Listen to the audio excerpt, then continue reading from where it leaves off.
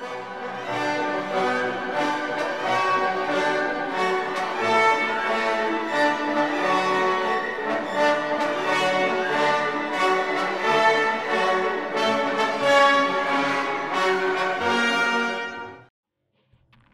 und herzlich willkommen zu einer neuen Ausgabe von Gold in Victory. Ich bin Mu und auch heute werfen wir gemeinsam wieder einen Blick auf die aktuelle Situation der deutschen Clans auf der Weltkarte. Zuvor aber wie immer die News. World of Tanks wächst. Mit dem Start der Closed Beta von World of Tanks Generals erblickt nun ein weiterer digitaler Zeitvertreib das Licht der Welt. In Form eines Sammelkartenspiels können wir nun Gefechte Mann gegen Mann bzw. General gegen General mit all den Panzern und Fahrzeugen aus World of Tanks gegeneinander austragen. Die ersten Einblicke gibt es natürlich bereits auf meinem YouTube-Kanal. Einmal schlafen und es ist soweit. Die sechste Fight Night XL steht in den Startlöchern und diesen Samstag ab 19 Uhr treffen sich erneut über 260 verschiedene deutsche Clans, um mit und gegeneinander in die Kompaniegefechte zu gehen.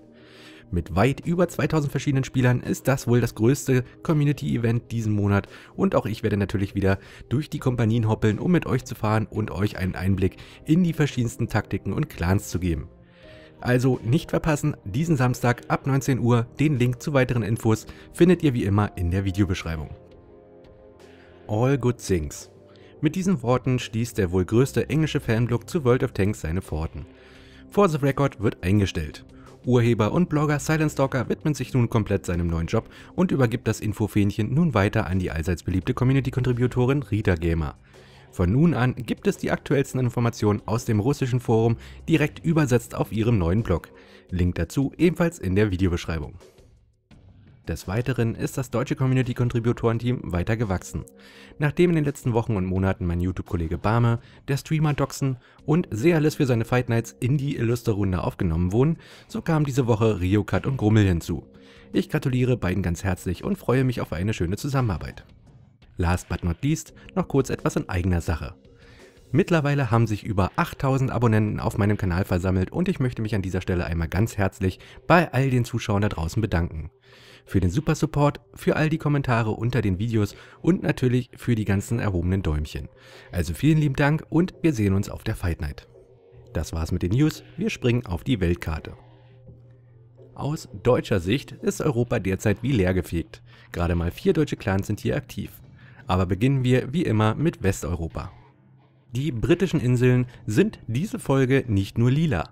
Fame verlor gestern das Gefecht gegen die Red Devils auf Schottland und gaben somit das erste Mal seit langer Zeit etwas von ihrem Inselkönigreich preis. In Frankreich machen es sich Payne und Baba gemütlich und sammelt derzeit völlig ungestört etwas Gold. Deutschland dagegen ist nicht mehr von der Grünen Allianz besetzt und die letzten Restaurants wurden gestern von Omni in Niedersachsen geschlagen. Nun stellt sich allerdings die Frage, was werden Omni und der deutsche Clan Ode Mortis tun, nachdem all die Gegner besiegt sind. Werden nun die Provinzen neu verteilt oder gilt nun das Recht des Stärkeren? Auch der halbdeutsche Clan Nos Novo Ordo Seclorum ist derzeit sehr aktiv und besetzte den nördlichen Teil Italiens. Weiter östlich hat der deutsche Clan Jumbo mittlerweile die komplette nördliche und östliche Flanke der Blauen Allianz fest im Griff und zieht nun gegen Fire. Und zu guter Letzt landete gestern die German Elite Community ganz am Osten der Weltkarte und steht nun BEA Steel Panthers und der 9. TD gegenüber. Wir springen ins Mittelmeer. Auf der Ibirischen Halbinsel findet derzeit mal wieder ein Gemetzel statt. Hier bekriegen sich mit Herbderb Unicorn, Warning und Jackal drei sehr starke Clans. Italien dient derzeit ebenfalls als Schauplatz einiger Auseinandersetzungen, diesmal mit deutscher Beteiligung. Efe, hier in Mittelitalien zu sehen, wird gerade von drei Seiten bedrängt. Aus dem Osten drückt die Blaue Allianz in Form von Enga, aus dem Norden gibt es Feuer von Tare und von Süden piekst der deutsche Clan AAV. Efe steht damit unter erhöhtem Druck und ich bin sehr gespannt, wer demnächst als Gewinner vom Platz gehen wird.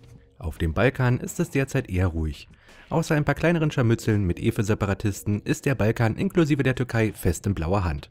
Neben Jumbo im Norden sitzt auch der zweite deutsche blaue Clan Face the Faceless hier natürlich mitten in der Türkei an einem wahrlich sonnigen Fleckchen und genießt den Urlaub. Weiter südlich im Nahen Osten finden wir den nächsten deutschen Block. Wie auch in den letzten Folgen von For Gold and Victory halten hier die Clans Krawall und das Stahlkettenbündnis ihre Provinzen fest zusammen und bieten immer wieder ein beeindruckendes Bild auf der Weltkarte.